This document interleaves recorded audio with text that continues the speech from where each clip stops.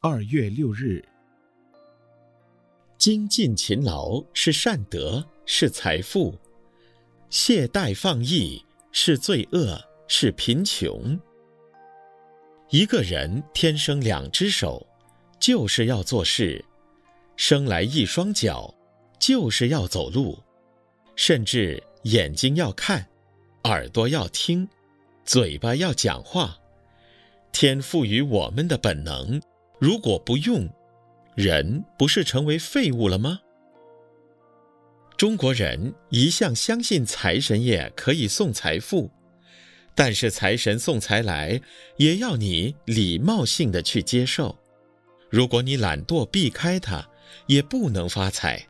甚至围在景象上的大饼，你吃完了前面的部分，如果连转动一下都懒得去动，那么。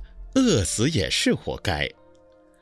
世间上，懒惰与贫穷是难兄难弟，因为懒惰，所以贫穷；因为贫穷，所以容易懒惰，这是互为因果。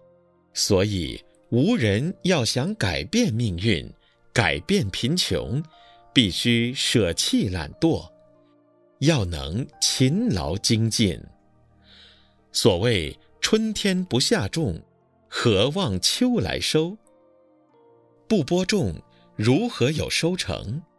不劳动，如何有成就？一个懒惰懈怠的人，即使才华过人，永远也用不到自己的长处。如此辜负天生我材，岂不可惜，复可悲乎？文思修。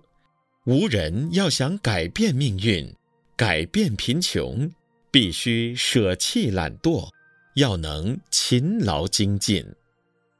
每日同一时段与您相约有声书香。